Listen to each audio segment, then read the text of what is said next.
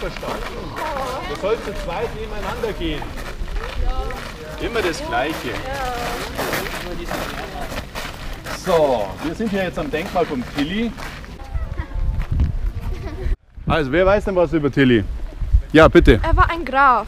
Ein Graf, sehr gut. Ich weiß schon. Er war ein Mann. Ach Mann, also Alex, es ist doch ersichtlich, dass er ein Mann war. Ja, es kann doch nur von dir kommen. Wer weiß denn noch was über den Tilly? Ja, Alina.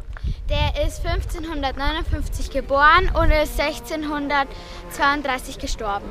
Aha, sehr gut. Dann kriegst du einen Einser. Wer weiß denn noch was über Tilly? Mathilda! Wer war denn Tilly? Mathilda, komm mal her. Sag mal, warum hast du eigentlich immer das Kuscheltier dabei? Richtig Baby. Also, was weißt du über Tilly? Schau mal her, Mathilda. Kamera runter, ihr braucht es nicht filmen. Also, was weißt du über Tilly? Komm. Komm, heute noch. Ich weiß nichts über Komm, Mathilda, sag was. Ja. Sag was! Angsthase! Komm, du musst doch was wissen, du hast es in der fünften Klasse gelernt.